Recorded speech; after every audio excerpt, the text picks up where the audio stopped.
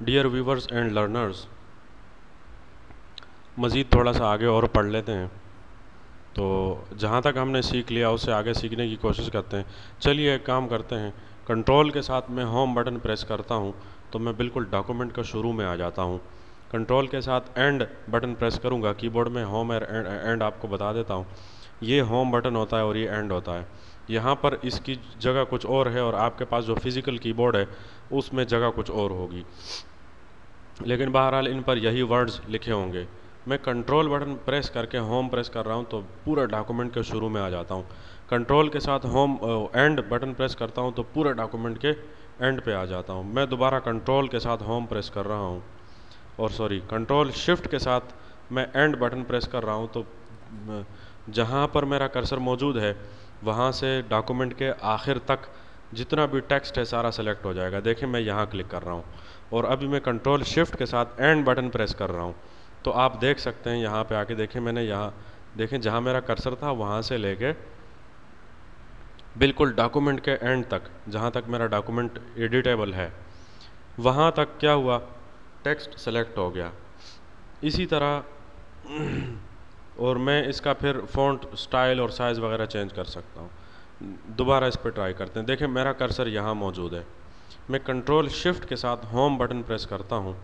تو جہاں میرا کرسر موجود تھا، وہاں سے ڈاکومنٹ کے شروع تک ٹیکسٹ سب کا سب سلیکٹ ہو گیا، ٹھیک ہے؟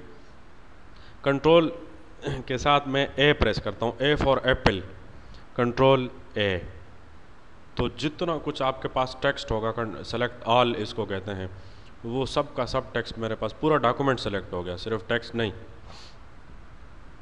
اب میں کیا کرتا ہوں؟ یہاں سے میں فونٹ سائز چینج کرتا ہوں سوری فونٹ سٹائل چینج کرتا ہوں۔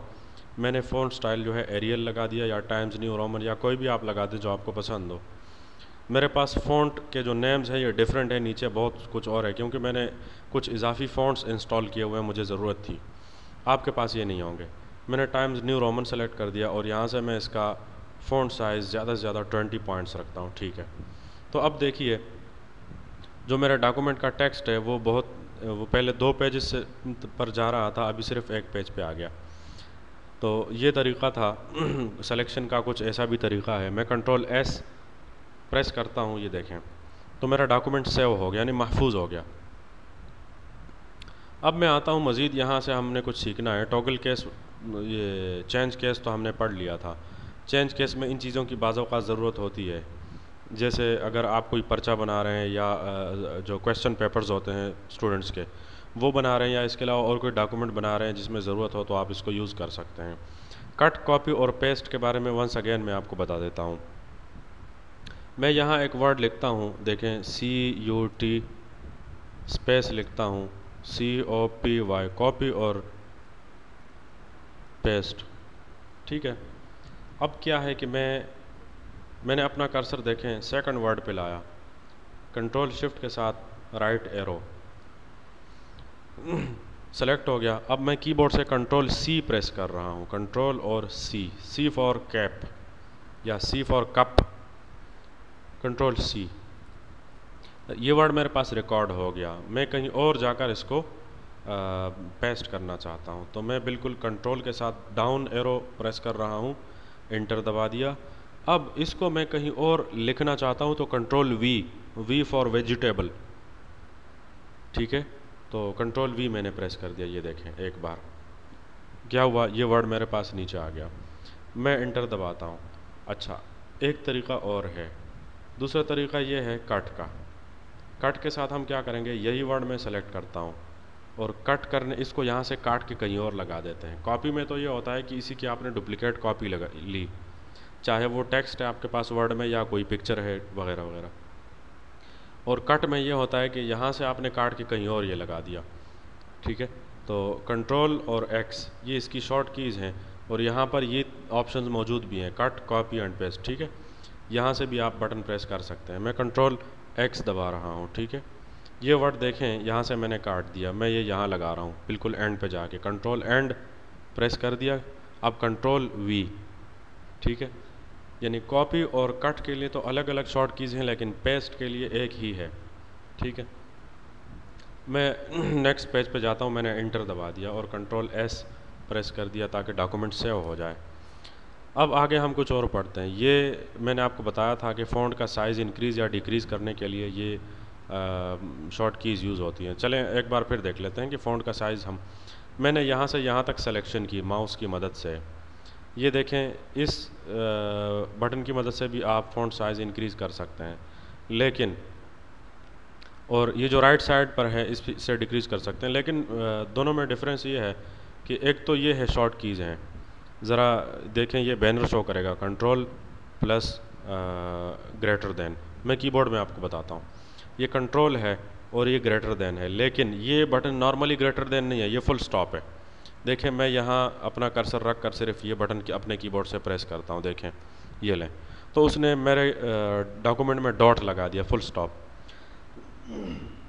اسی کے ساتھ دوسرا بٹن ہے یہ، جس کو لیس دین کہتے ہیں، اسی کے لیفٹ سائڈ پہ۔ اس میں کوما موجود ہے۔ یہ کوما ہے، یہ فل سٹاپ ہے، یہ کوما ہے۔ میں اگر سپیس دے کے یہی کوما پریس کروں تو دیکھیں، ایک فل سٹاپ ہے اور ایک کوما ہے۔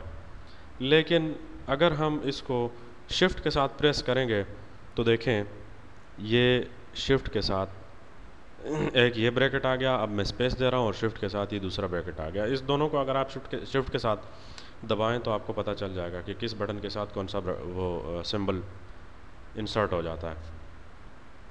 اب میں یہ ٹیکسٹ سلیکٹ کر رہا ہوں۔ یہ میں نے ٹیکسٹ سلیکٹ کر دیا۔ کنٹرول شفٹ کے ساتھ رائٹ اینگل گریٹر دین کا بٹن پریس کرتا ہوں تو دیکھیں اوپر جو ٹیکسٹ فونٹ کا سائز ہے وہ ٹوئنٹی پوائنٹس ہو گیا۔ اب ٹوئنٹی ٹو ہو گیا، اب ٹوئنٹی فور ہے، اب ٹوئنٹی سکس ہے ٹوئنٹی ایٹ ہے، اب ڈائریکٹ جو ہے تھرٹی سکس پہ چلا گیا۔ اسی طرح میں اگر کنٹرول شفٹ کے ساتھ یہ لیس دین کا بٹن پریس کروں، دیکھیں میں پریس کرتا ہوں۔ کنٹرول شفٹ لیس دین یہ دیکھیں۔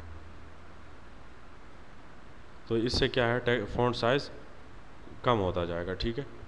اس کے علاوہ دوسرا بھی کی یہ دو جو کیز ہیں یہ ذہن میں رکھیں۔ اس یہ بڑے والے بریکٹ کو میں انٹر دباتا ہوں، ٹھیک ہے؟ یا میں آپ کو ان کی شارٹ کیز بتاتا ہوں۔ پہلی شارٹ کی ہم نے یوز کی ہے C T R L. C T R L کے ساتھ میں نے یہ اور یہ بٹن یوز کیا ہے، ٹھیک ہے؟ یہ دونوں۔ یہ شارٹ کیز تھی۔ اب میں آپ کو بتا رہا ہوں کہ آپ نے کنٹرول کے ساتھ یعنی سی ٹی آر ایل جس بٹن پہ لکھا ہوا اس کو کنٹرول کہتے ہیں۔ کنٹرول کے ساتھ آپ نے یہ اور یہ بٹن یوز کرنے ہیں دونوں، ٹھیک ہے؟ اس میں یہ والا جو بٹن ہے کی بورڈ پہ، یہ اگر آپ ڈھونڈیں تو اس سے آپ کا ٹیکسٹ سائز جو ہے، وہ ون پوائنٹ کے حساب سے انکریز ہوگا۔ اور یہ جو دوسرا بریکٹ ہے لیفٹ سائڈ پہ اوپننگ بریکٹ ٹھیک ہے؟ ہال بریکٹ اس کو کہتے ہیں ان دونوں کو تو کنٹرول کے ساتھ یہ پریس کریں گے تو ون پوائنٹ کے حساب سے آپ کا فونٹ سائز ڈیکریز ہوگا یعنی کم ہوگا اچھا اور اسی ان دو بٹنز پہ یہ سمبلز بھی بنے ہوئے ہوتے ہیں کرلی بریکٹس ٹھیک ہے تو آئیے ذرا اس کی پریکٹس کر کے دیکھتے ہیں میں ذرا کنٹرول کے ساتھ اور شفٹ کے ساتھ اپ سائڈ والی ایرو یوز کر رہا ہوں تو یہاں تک میں نے سلیکشن کی۔ اب ذرا دیکھیں۔ کنٹرول کے ساتھ میں ان کا فونٹ سائز ڈیکریز کر رہا ہوں، یہ دیکھیں۔ ایک ایک پوائنٹ کے حساب سے ڈیکریز اور ابھی انکریز کر رہا ہوں۔ میں نے انکریز کر دیا۔ ٹھیک ہے؟ میں کنٹرول اینڈ پہ جا رہا ہوں اور انٹر دباتا ہوں۔ کنٹرول ایس سے میں نے ڈاکومنٹ سیو کر دیا۔ تو نیکسٹ لیسن کے لیے اجازت دیجیے اللہ حافظ۔